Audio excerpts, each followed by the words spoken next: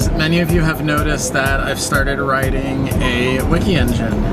I don't know how you couldn't notice because there's at least five or six videos out there.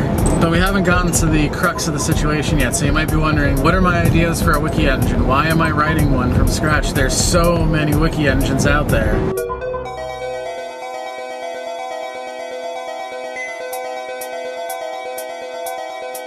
Well, first of all, yes, I do have some interesting ideas that I want to implement. I've kind of had them for some time, considering my biggest reading source is Wikipedia. So, in my many years of reading Wikipedia, there's been a lot of things that I kind of felt that I could do better. Um, but the biggest impetus is that I want a wiki that runs on ASP.NET Core, which is a cross-platform framework for web development. And that would allow me to run it on all my servers, whether they be Windows, Linux, uh, whatever. It allows me to write it using C Sharp, which I am extremely proficient at. And the biggest thing is that I've used other wiki engines in the past. I've used virtually every wiki that is based on ASP.NET. I've also used MediaWiki, which is what Wikipedia is based on. Um, and frankly, I can never find one that I don't have to modify the fuck out of anyway just to get what I want. I mean, like MediaWiki, let's just start with MediaWiki because it's the most popular one. You know, it's it's written in PHP, which is fine. You know, I don't have an issue throwing PHP on a server and, and running that. But if you want a wiki that doesn't look exactly like Wikipedia, um, or behave exactly like Wikipedia, you know, it's it's it's a bitch to edit. I mean, there are themes, there are ways that you can style it, but like there's a lot of things in the MediaWiki world that I just don't think need to really be presented to, to people. I've got a bunch of people that I want to be able to create content for my wikis without them having to learn wiki markup languages, understand how categories and, and all kinds of other wiki specific context work. I mean, okay, if you're writing a very simple page that just has like a couple headings and some text and some hyperlinks, then that's fine. MediaWiki is great for you. But like, if you ever go to Wikipedia and you look like on the right, there's like what's called an info box. Like, just look up anything. Like, look up any TV show, airline, anything. Like, look anything up that's like a common topic. And if you look to the right, you'll see like this this info box. You know, sometimes it's got a thumbnail. Usually has some facts, like when the, you know, like for a TV show, it'd be like when it was created, when it was on the air, who it was produced by. Like, try looking at the source code for that info box it's gonna link, it's gonna reference to a template, and that template's gonna reference to other templates, and there's gonna be like all kinds of nonsense in there, and none of it is WYSIWYG. None of it at all is WYSIWYG. There's all kinds of complexity that just frankly is like ridiculous. Like you don't need that. Like I should just be able to draw a fucking box with my mouse and type into it. So I'm gonna go over some of the ideas that I have for my wiki engines so that you can kind of understand what I'm trying to achieve. Come on, bitch. Alright. So the first improvement I want to make is that everything is WYSIWYG. When I say everything is WYSIWYG, I don't mean that you enter your text into a WYSIWYG box like CKEditor, FCK editor, where you have like the bold and the italic, whatever. I mean that like you go to any wiki page, like imagine you're on Wikipedia and you see something you want to edit. You just double click and then suddenly the text in place becomes editable. And then you just make your edit, either double click or maybe control S, and it's done. It's that simple. You go on with your life. You don't have to know any kind of anything and you know if there's specific guidelines or rules to editing that particular page or section of the wiki they can just pop up in a little floating window. Uh, maybe uh, maybe you even have to check off that you've followed them all before you can submit your changes. The other improvement I want to make is if you've ever read Wikipedia sometimes you read a paragraph or an article and it starts out sounding i don't want to say biased because they're not supposed to be biased but they, they, they start out with one direction and then you get to a sentence that sounds completely different from the direction of the, the rest of the paragraph or the article and you're like well clearly someone else wrote this section of the, of the page. So today you'd have to go into the history and you'd have to page through all of the changes until you find out who specifically added that text to that section it would be really nice if you could have a heat map mode where every author was depicted in a different text color so that way when you get to text that's authored by a different person you can, you can see that transition you don't have to just guess and, you know, yeah, in a perfect wiki, this shouldn't matter because everyone should be following the same guidelines and same style, but everyone writes different. I mean, that's the beauty of the English language. There's a million ways to represent the same thing. So when you go from like a clearly articulated sentence to one that's just like has no thought put into it, you can see why that's the case. It's you, you can derive that there's no specific intent from those usage of words. It was just authored by a different person. I mean, for God's sake, people rip the Bible apart trying to figure out the intent behind things to, based on who might have written that section of it. I mean, I think it would be nice for a wiki to be able to just tell you at a glance, you know, who the contributors are and which parts they contributed to.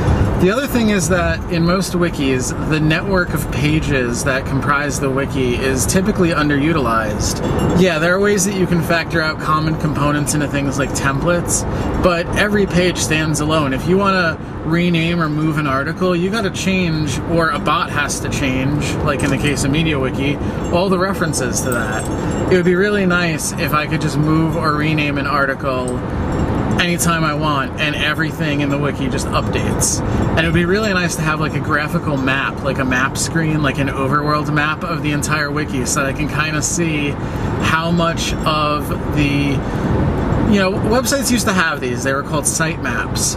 But more and more often, they're no longer actual maps. They're just lists of fucking pages that you might want to go to. It'd be really nice to have a real map dynamically generated of every page in the wiki so that you can get some idea as to what pages you might not have seen yet, how much of the wiki you have seen, how much of the wiki you've contributed to. And additionally, you know, are there orphan pages? Are there pages that aren't linked anywhere? Are there pages that are lightly linked? What are the most important pages? You can make a lot of improvements to the interconnected nature of a wiki if you could visually see how things are linked and what things are and are not linked to anything. Many wikis have like a feature that'll show you pages that aren't referenced from anywhere or orphan pages or whatever. But I mean, maybe they are referenced from one place. They're just not referenced from a place that every other page of that class really should be referenced from. I would also like to see procedurally generated components of a wiki. So like those info boxes I mentioned earlier where for like a television show it might have, you know, what dates it ran from, what network it was on, who created it, who produced it, who it was starring. Um, yeah, so there's a template for that, but you gotta, someone has to manually enter all of that metadata into the you know into that template in the format that they ultimately want it appearing in. I want to be able to decouple the styling of the wiki from the actual data, or maybe not even have the data in the wiki, maybe be able to just like pull from a data source live.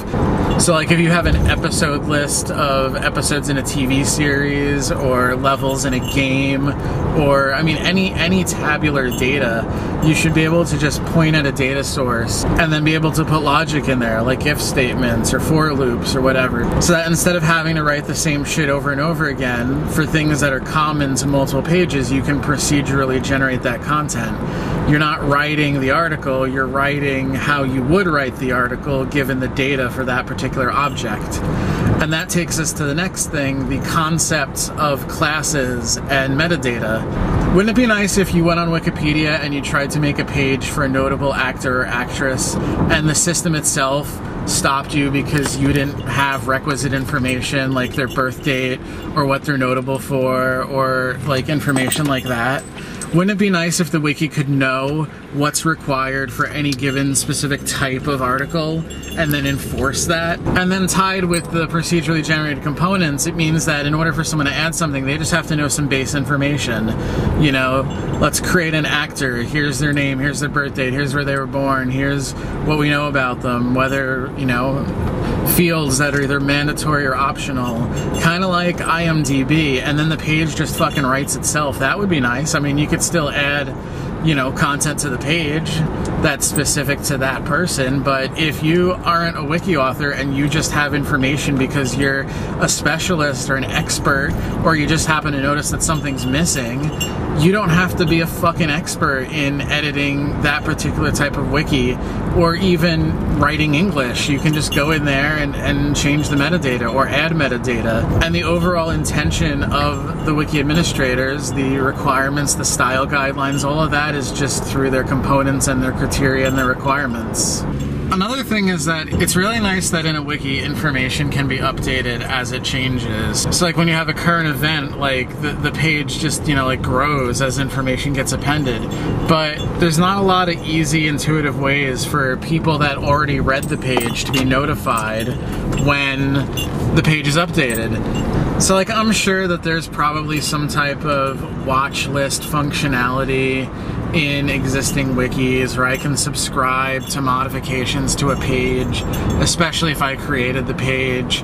But there's not like any like central reading list. Like when I go to the homepage of Wikipedia, it, it's not like, oh hey Neil, here's uh 20 things that were updated since you last read them. Just information you might care about since you cared enough to read the article in the first place. So maybe, you know, have like a follow button where I can follow pages or just, you know, set it up so that if I'm reading a page for more than five minutes, then I should probably get notified when uh, any substantial content is added to that page. Or maybe as a content contributor, um, something was wrong. Maybe something was completely factually incorrect, and I want to update every person that read that that wiki page and send them a notification letting them know that hey, we made a retraction, we made a correction. You know that college essay you might be writing, you might be wrong because uh, we just found out that this info right here is is bullshit. So that would be really nice. Once you read a wiki page, that shouldn't be the end of your relationship with the subject matter. And finally, some level of interactivity might be helpful. Like maybe not an encyclopedia like Wikipedia or Wiktionary, but like if we're talking about like a fan wiki for something, it might be really nice to be able to like thumbs up individual sentences or paragraphs or like add emoji, like add uh what are they called in Facebook? Um, you know, where you can heart something or you can like put like a happy emoji or a puking emoji or whatever. Like, be really nice to find out what other people reading the page think about something, you know, especially if it's like a subjective opinion. You know, if it's objective facts, like a fucking, you know, like Wikipedia, then maybe that's completely inappropriate. But it should be up to me as the content author to say, hey, I want feedback from people about what it is that I'm writing here. That would be really nice. I'm sorry the sun is in the way. I'm sorry my hair is fucked up.